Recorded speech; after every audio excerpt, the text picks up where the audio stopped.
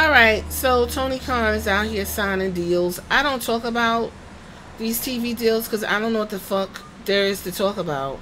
But for whatever reason, everybody's obsessed with this Warner Brothers Discovery TV rights deal and if Tony Khan's going to get it. He's been working on this deal for what seems like forever. So let's get into it. AEW Shockwaves is coming to Fox. Is it coming to Fox 5? Is it coming to your local Fox show? No, it's coming to Fox Sports 1. AEW may have reached an agreement with Warner Brothers Discovery while also seeking a new television partner. After months of no- negotiations, a television deal between AEW and Warner Bros. Discovery is to be finalized as the current deal expires at the end of this year. There are talks about AEW negotiating with Fox to air a one hour show called Shockwave, for which they already filed a trademark. The show could be broadcast on Fox Sports 1.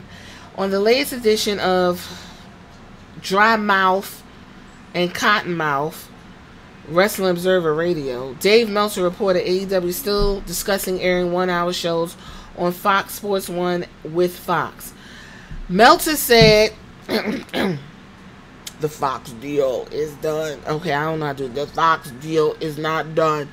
I know a lot of people have been talking about the idea on the Fox network I do not know, but I would strongly I would strongly suspect it will not be on the Fox network.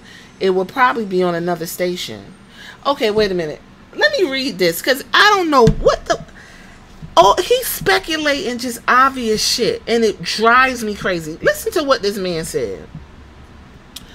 The Fox deal is not done. I know a lot of people have been talking about the deal on the Fox network. I do not know, but I would very strongly suspect it will not be on the Fox network.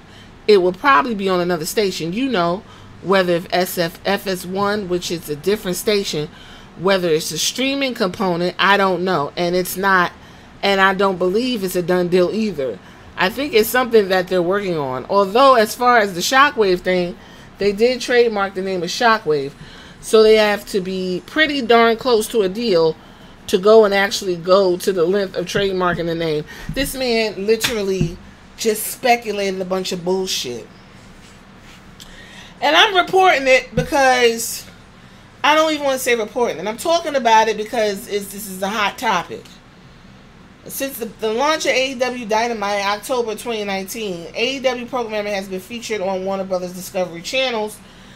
Tony Khan has consistently emphasized the significance of bringing wrestling back to TBS and TNT following the conclusion of WCW in 2001. So let's just go ahead and talk about it. Taking Dave Meltzer out of the equation because I really wish I didn't read that. Does AEW need another TV show? The answer is no. Unless if Shockwave is just like a news update, reality type back scenes, backstage preview type show, I'm cool with it. I'm cool with it. Because WWE used to do that back in the day. They used to have like a, a, Entertainment Tonight type show. I forgot the name of it because I used to watch all the time on Saturdays. You would just get like updates on TV uh, that you may have missed, um, storylines that you may have missed. They'll like show you um, feature superstar and a little bit of taste of their life. They'll show you some back scenes action, behind the stage shenanigans, stuff like that. And you got your advertisements. If that's what Shockwave is gonna be, I'm all for it because they do need help with their online stuff.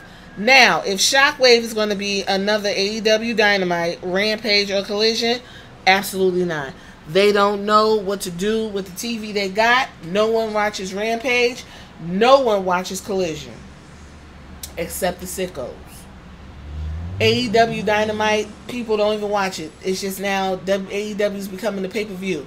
People would rather pay 50 bucks to watch a pay per view than watch the TV on a regular basis. So, this is what I'm going to leave it off with. Would you watch AEW Shockwave is if it was like a news a la think of it like Entertainment Tonight, Access Hollywood kind of thing, but for wrestling, or would you watch watch Shockwave if it was just another wrestling show? Y'all hit me in the comments and tell me what you think. Let's have the conversation.